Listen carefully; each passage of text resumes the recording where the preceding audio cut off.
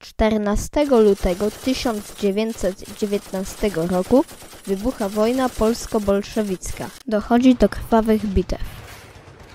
Bolszewicy wygrywają w pierwszych dniach wojny. Jednak Polacy nie zwlekają i szykują kontrofensywę. Akcją dowodził Władysław Belina-Pażmowski.